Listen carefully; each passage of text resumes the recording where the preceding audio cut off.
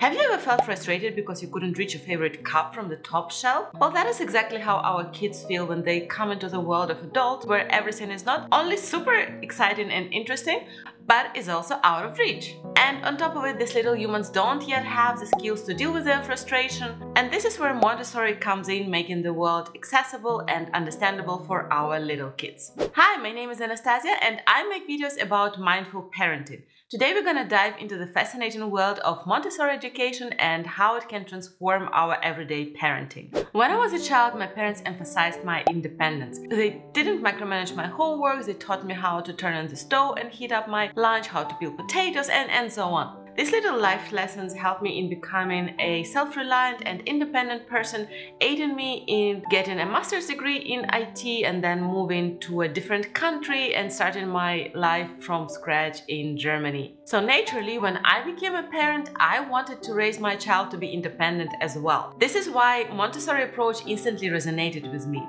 What exactly is Montessori? And more importantly, how can we implement its principles at home to raise more independent, curious, and and self-reliant children. Founded by Dr. Maria Montessori in the early 1900s, the Montessori method is an educational approach that focuses on nurturing and encouraging each child's individual desire to learn. When my husband asked me to explain Montessori to him as simply as possible, and please speak as you might to a young child or a golden retriever. Here's what I said. Imagine our kid is a perfectly capable but tiny human who also has amnesia and now we just have to reteach him how to do everything, how to walk, talk, and how to do more complex tasks.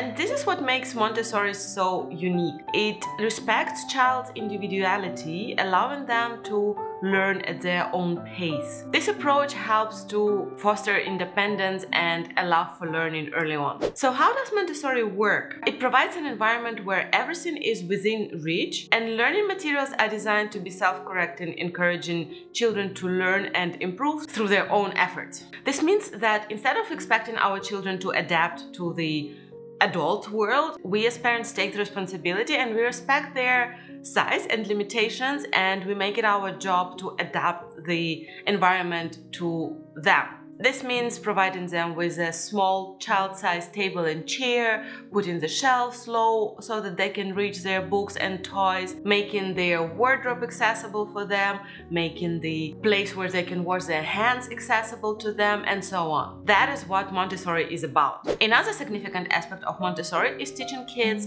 life skills rather than academical skills. For instance, instead of focusing solely on word cards and memorization, Montessori focuses more on self-directed and hands-on learning. As a Montessori parent, I, for example, teach my kid different skills like how to get dressed, how to clean up after him, how to cook, how to bake, and so on, using his genuine interest to mimic adults as a learning opportunity. And while he sees every opportunity to improve his vocabulary, including teaching him sign language even before he could talk at all, I have an entire video on that so you can check it out. I still prefer practical over theoretical teaching. Now a few words about Montessori toys. First of all, they should be well organized. So each toy should have its own place so that you can start teaching your child how to be organized. That also helps children to stay calmer because children like structure, they like schedules and they like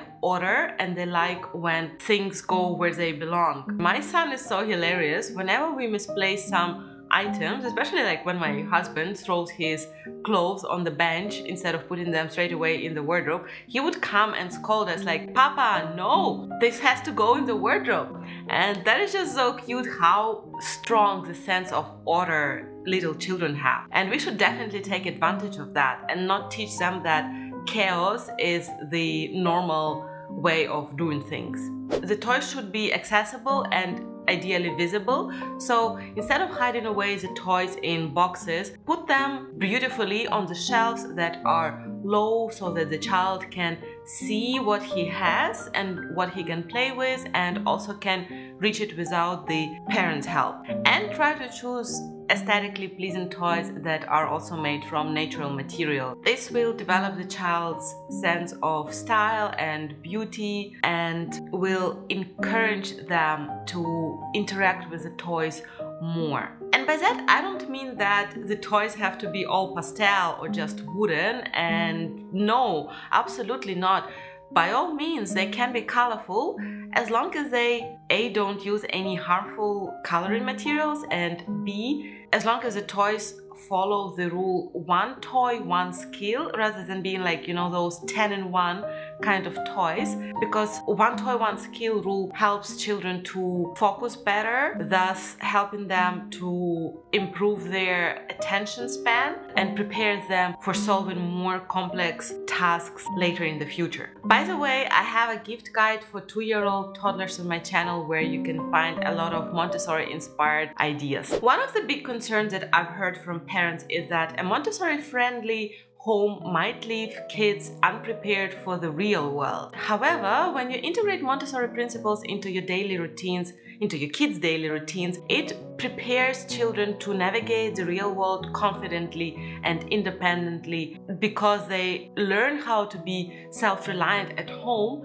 they are more self-reliant outside the home as well, even if the environment is less kids friendly. So is Montessori worth it? For me, the answer is definitely yes. Adopting the Montessori method has been incredibly worthwhile for our family. And it also doesn't have to be expensive, which is another misconception that many people have. In my next video, I'm gonna show you how we implement Montessori at our home in an affordable way so make sure to subscribe and enable notifications so that you don't miss it. And before you go, I recommend that you check out my video about how I transform an IKEA play kitchen into a functional Montessori station. Also feel free to ask me any questions that you have about Montessori in the comments below. Thank you very much for watching and I'll see you next time. Bye!